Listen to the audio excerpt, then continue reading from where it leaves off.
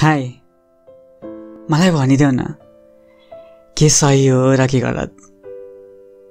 जीवनको यो सानो परिधिभित्र प्रेमलाई अटाउन खोज्दा खोज्दै थाकिसकेँ। मलाई भनिदेऊ न के माया हो र के आकर्षण आँखाले देख्ने तिम्रो रूपमा प्रतिध्वनित भएर आउने व्यवहारहरूप्रति हारिसकेँ।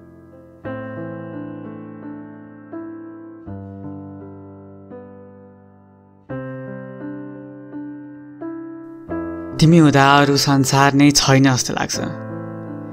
तिमी नहुँदा यो संसारमा म कतै छुइनँ जस्तो लाग्छ।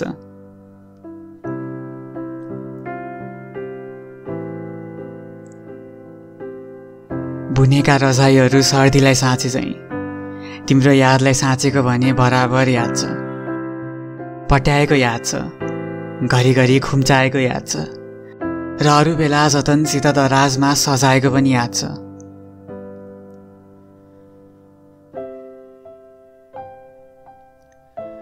अचम्म लाग्थ्यो। कसरी तिम्रा ती आँखा भिडमा पनि सहजै देखिन्थे। तिनले केही भन्न चाहे जस्तो भत्किएकोलाई जोड्न चाहे जस्तो। दुई बहुमूल्य मोतीले आफ्नो सुन्दरताको अनमोलता थाहा नपाएर यताउति हराए जस्तो। कसरी तिम्रो त्यो हाँसो कानैमा आइगुजिन्थ्यो? लाग्थ्यो जिन्दगीले दिएका चोटहरूको रिसानी माफ गर्दै हाँसे जस्तो। भुलाएर अन्यत्र त्यो पल। केवल तिम्रो ओठले मुस्कानको लागि ठाउँ छोडे जस्तो। अब तिमी आफै भन न कसरी छुट्याउ यो माया थियो कि आकर्षण? त्यो माया र आकर्षणको भिन्नता बिचमा केही हुँदो त तिमी र मलाई जोड्ने रातो प्रेमको प्रतिनिधित्व गर्ने धागो हुँदो। र अन्तिममा परेको गाँठो चाहिँ आकर्षणको गाँठो। जसले हत्तपत्त बाँधेको डोरोलाई फुत्किन दिँदैन।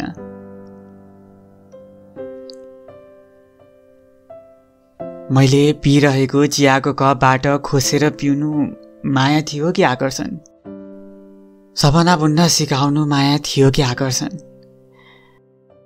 खुसीका एक एक फुलहरूलाई कोमलतासित टिपेर जिन्दगीको फुलदानीमा राखिदिनु माया थियो कि आकर्षण? विगतमा पाएका चोटहरूलाई कारण नजानी त्यसलाई निको पारिदिनु माया थियो।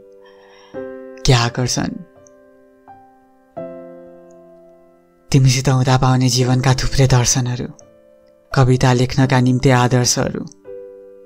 सायद अब त अनुभूतिका पछिल्ला पानामा पल्टिएर दबिएका छन् आफ्नै शब्दहरूको भार थाम्न नसकेर। तर पनि यो कलम यो शब्द अनि यो जिन्दगी तिमीप्रति कृतज्ञ नभई बस्न सक्दैन। भन्नेहरूले त भन्छन् आकर्षण मात्र थियो र त सम्बन्ध टुट्यो। तर आजकाल प्रेमको आहुति दिएर प्रेममा जल्नेहरूलाई के थाहा? रुदा रुँदै कसैलाई सम्झेर मुस्कुराउनुको मजा। ऊ खुसी छ भन्दै आफूभित्र भएको सबै गुनासो भुलाउनुको मजा। यार तिमी तिमी रहनु अब धेरै नबद्लिनु। बदलिनु यो हदसम्म कि आँखा बन्द गरी देखेका चित्र रङ भरिएर आँखा खोल्दा तिमी सामु नाचोस्। बस यही एउटा इच्छा कि त्यो यादको रसाइ थियो नि। जुन तिमीले र मैले दुवैलाई थाहा नदी हरेक शून्य रातमा मनको कुनाबाट झिकेर ओढ्छौँ त्यसमा हिनताको धुलो नसमोस् त्यसमा हिनताको धुलो नसमोस्।